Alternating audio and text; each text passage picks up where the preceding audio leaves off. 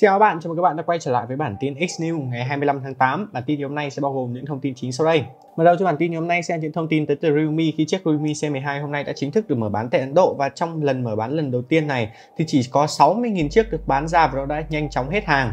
Theo đó thì đợt mở bán Realme C12 tiếp theo dự kiến sẽ vào ngày 31 tháng 8 tới đây và sẽ được bán vào lúc 12 giờ đêm theo giờ địa phương Ấn Độ. Cũng tại quốc gia này thì chiếc Realme C15 sẽ được bắt đầu mở bán vào ngày 27 tháng 8 tới.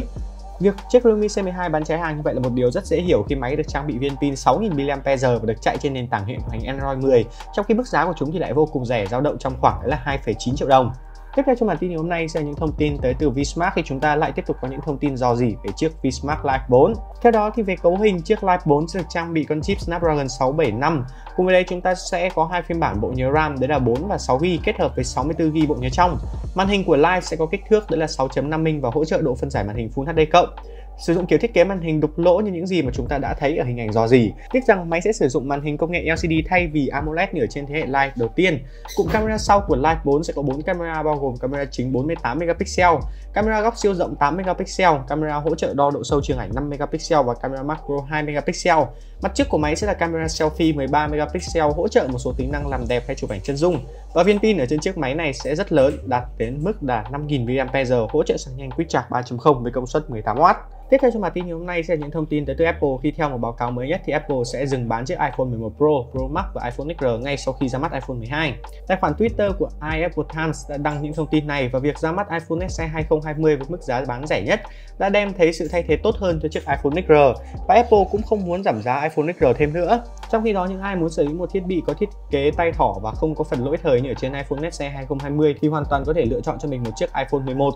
Khi hiện tại, mức giá bán của chiếc iPhone 11 sẽ giảm xuống còn 549 đô la sau khi iPhone 12 ra mắt. Và đây là một trong những thông tin rất đáng mừng dành cho những ai fan không có điều kiện. Và việc Apple ra mắt thêm phiên bản iPhone 12 Pro và iPhone 12 Pro Max thì Apple sẽ tin rằng không có nhiều ý nghĩa để giữ lại chiếc iPhone 11 Pro và iPhone 11 Pro Max. Chính vì vậy, Apple cũng đã quyết định khai tử hai dòng smartphone này. Tiếp theo cho bản tin ngày hôm nay sẽ những thông tin tới từ LG khi thương hiệu này vừa ra mắt một chiếc smartphone 5G tầm trung của Q series tại Hàn Quốc có tên gọi là LG Q92. Điểm qua đôi chút về thông số thì đây được coi là một phiên bản giá rẻ chiếc LG Velvet 5G với bộ vi xử lý Snapdragon 765G đi kèm với 6GB RAM. Ngoài ra thì máy sẽ có tiêu chuẩn chống nước IP68, độ bền tiêu chuẩn quân đội MIL STD 810G. Cùng với đấy máy sẽ có hệ thống 4 camera mặt lưng bao gồm cảm biến chính 48 megapixel, camera góc siêu rộng 8 megapixel, camera macro 2 megapixel và cảm biến đo độ sâu trường ảnh 5 megapixel. Về màn hình thì LG Q92 sẽ được trang bị màn hình LCD 6.67 inch thay vì màn hình AMOLED như ở trên phiên bản Velvet. Máy sẽ sử dụng độ phân giải màn hình Full HD cộng với kiểu thiết kế màn hình nốt ruồi nằm ở chính giữa để chứa camera selfie 32 megapixel cùng một viên pin 4000 mAh, sạc nhanh 15W thông qua cổng USB Type-C và được chạy sẵn phiên bản hệ điều hành Android 10 với giao diện LG UX 9 khi được bán ra. Theo đó thì mức giá bán của chiếc LG Q92 sẽ dao động trong khoảng 500.000 won, tức là rơi vào khoảng 9,7 triệu đồng và chúng ta sẽ có phiên bản 6GB RAM và 128GB ROM. Thiết bị sẽ có 3 tùy chọn màu sắc cho người dùng lựa chọn đấy là trắng, xanh và đỏ.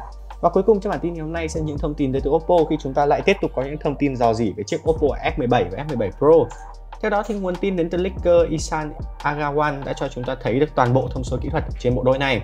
Ở trên chiếc Oppo F17 Pro thì chúng ta sẽ có một trọng lượng rất nhẹ chỉ 164 g với kích thước thân máy là 160,14 x 73,7 x 7,48 và máy sẽ có ba màu sắc để lựa chọn đấy là Matte Black, Magic Blue và Metallic White.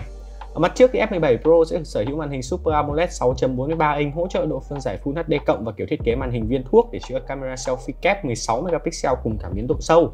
Ngoài ra thì Oppo F17 Pro cũng có một module camera hình vuông bao gồm 4 camera và cảm biến chính của máy sẽ có độ phân giải 48 megapixel. Về hiệu năng thì F17 Pro sẽ trang bị bộ vi xử lý Helio P95, 8GB RAM và 128GB bộ nhớ trong.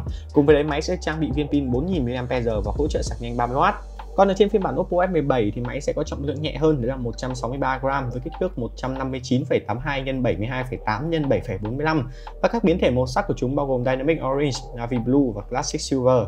Ở mặt trước thì máy sẽ có màn hình giọt nước 6.44 inch hỗ trợ độ phân giải màn hình Full HD cộng sử dụng tấm nền Super AMOLED. Ở mặt trước thì máy sẽ có camera selfie duy nhất với độ phân giải 16 megapixel. Về hiệu năng thì đây cũng là một trong những cắt giảm của chiếc Oppo F17 Pro khi máy được trang bị con chip Snapdragon 662 đi kèm với 6GB RAM và 128GB bộ nhớ trong và máy sẽ có viên pin 4000 mAh hỗ trợ sạc nhanh 30W. Như vậy là chúng ta đã cùng nhau tổng hợp lại những thông tin công nghệ hot nhất ở trong ngày. Nếu như các bạn cảm thấy video này hay thì hãy nhớ like, share và nhớ subscribe giúp chúng mình. Còn bây giờ thì xin chào và hẹn gặp lại các bạn trong những bản tin tiếp theo.